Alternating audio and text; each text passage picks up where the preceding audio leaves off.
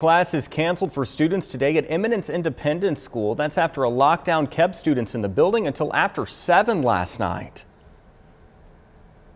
You know, you know every worst case scenario crosses your mind, obviously. Um, you know, but, but seeing their faces when they walked out of that building, I was relieved. The superintendent says more details about the threat will have to come from the police department. Pictures from parents show police at the school during dismissal in Henry County.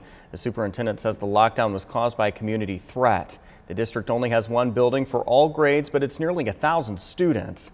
The superintendent says the threat was not inside the building and all students and staff are safe.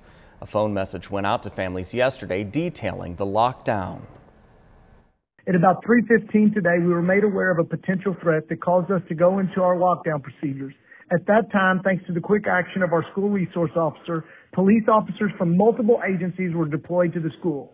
These officers took control of the situation and we acted in accordance with their direction. Due to this late di dismissal tonight, school will not be in session tomorrow, Friday, October 15th. Tonight's football game is still on, but the alumni event and homecoming festivities were moved to October 29th.